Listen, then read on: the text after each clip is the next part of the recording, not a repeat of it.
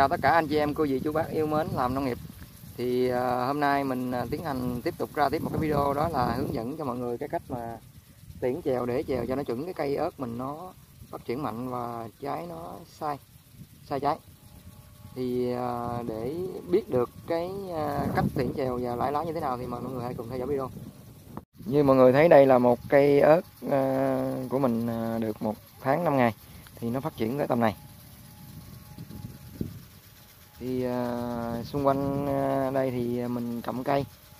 Mọi người thấy gió mà nó lắc kiểu này thì cái cái cái rễ nó sẽ bị động và cái cây nó chậm phát triển. Nên mình uh, cầm hết cây giống như thế này để mình cột lại. Và bây giờ mình sẽ tiến hành lại cái lá lại lá chân của cây ớt. Những cái lá mà trên thân từ dưới lên trên là chúng ta lại hết luôn. Không có tiếc một cái lá nào hết.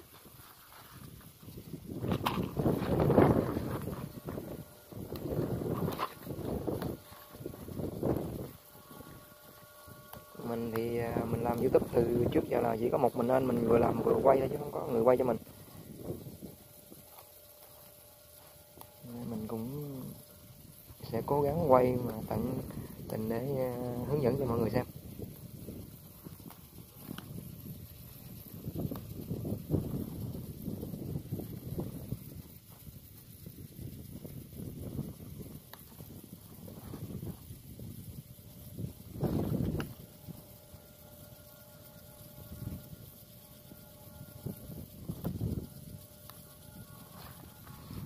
Có những cái chèo từ ở dưới chân gốc như thế này chúng ta cũng lại hẳn bỏ đi. Không có cần phải giữ nó nhiều làm gì. Tại vì cây ớt của chúng ta nó tầm khoảng 8 chèo là 8 chèo là đã ok. Rồi mình bấm đọt nó, nó, nó tầm khoảng là 11 12 chèo. Thì mình lại đi còn khoảng 8 chèo là ok. Một này mọi người nha một nè. Đây là một chèo này hai ba bốn. Bốn dưới bên đây năm sáu. Cái cây này mình để sáu chèo tại những cái tàn dưới chân nó sát đất quá rồi nè mình để nữa. Nó cũng không không có được uh, tốt mấy.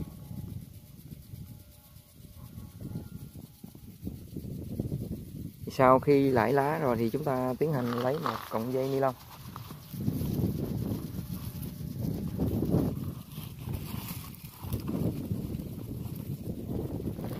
Vàng xung quanh cái cây ớt này chúng ta buộc lại.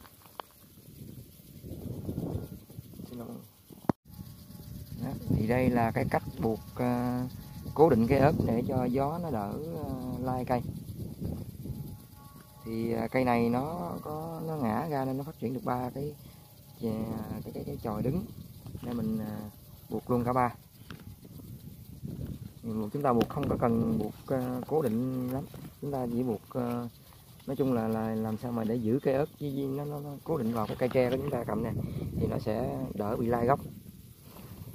Và đây là một số cây mình đã làm qua xong rồi.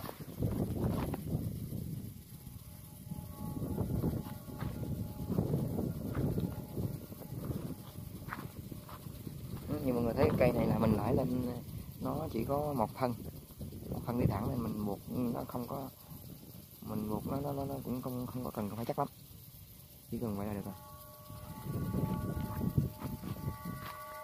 Thì à, còn một số cây này mình không có cầm cây ra mà không có lãi lá là lý do mấy cái cây này là nó phát triển chậm hơn. Mình sẽ làm thêm một lượt nữa.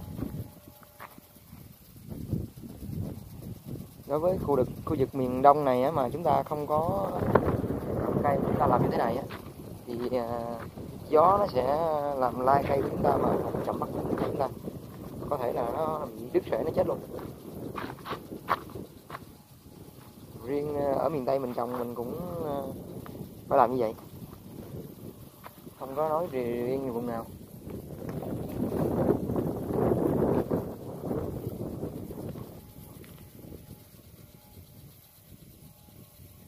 Thì đây là cái giai đoạn ờ, mà chúng ta tiễn chèo nó thì sau này khi cây ớt của chúng ta nó phát triển cao lên nó tầm qua khỏi cái cái, cái cây tre này là chúng ta tiến hành căng dây ta sẽ tiến hành căng cái dây cho nó hai bên giống như cái cái cái cái, cái clip của mình đây.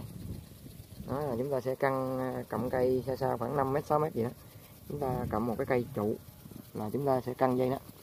Để cho những cái chèo này là mình bấm chèo là cái, cái nách chèo này nó sẽ bị quằn trái ra cho nên nó dễ bị tét nhánh. À, chúng ta cầm cái, cái, cái dây đó căng là sẽ không bị tét nhánh. À, mọi người xem video nhớ cho mình xin một lượt đăng ký một lượt like chào tạm biệt mọi người và chúc mọi người có một buổi chiều thật uh, vui vẻ bên gia đình. Hẹn gặp lại mọi người ở những video kế tiếp.